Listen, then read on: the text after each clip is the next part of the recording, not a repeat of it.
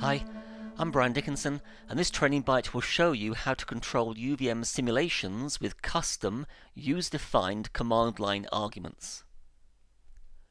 We know we can set UVM simulation options, such as verbosity, via the command line, but we can use the same functionality to pass user-defined arguments and values. We can then use these values to control a simulation, such as defining reserved address ranges, setting design-wide options such as frame sizes or bus speed, or setting simulation modes where a single command line argument can be used to control multiple UVM configuration settings. These options make simulation more flexible by allowing us to use one UVM test for multiple verification scenarios. A command line option consists of a named argument and its values, collectively known as a plus arg. In fact, plus args are a Verilog feature, and UVM simply provides an interface to this functionality. The options can have multiple values per argument, multiple arguments of the same name in a single command line, and support values other than alphanumerics if the value is enclosed in double quotes. We use the command line processor, CLP, to get these values as strings or queues of strings. We can process the strings or queues to extract individual argument value pairs and then act on the values. We can read all the values of an argument in one call. When reading multiple arguments, the argument values will be extracted into string queues, so we define these. Then we get the current CLP instance into a local handle. Then we can use the getArgValues method of the processor instance. This reads all the specifically named command line arguments as defined by a string and stores them in a queue.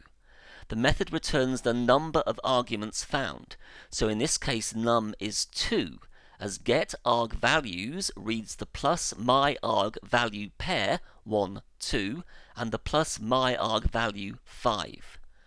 Note that the pair value is stored in one element of the queue, so will need to be split to extract individual values. We'll see a method for this later.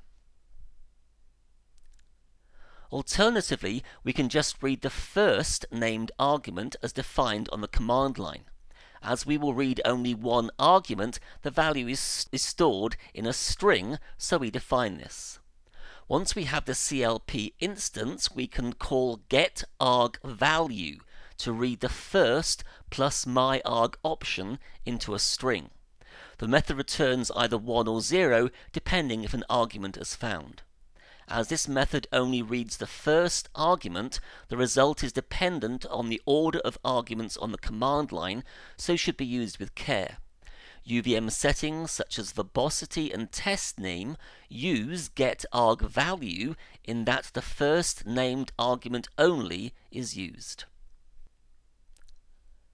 Another option is to use getArgMatches. This reads any argument beginning with a specific string, here plus my, and stores them in a queue. Here num is 3 as the 2 plus my arg and single plus my opt arguments are read. Note for get arg matches, the entire plus arg with both argument and values is stored in the queue and will need further processing to extract individual values. By default, get arg matches reads arguments beginning with a string but by enclosing the string in backslashes, we can define an extended regular expression to match arguments. Here, slash arg slash will match any arguments containing arg, and so writes the 2 plus my arg and single plus args arguments to the queue.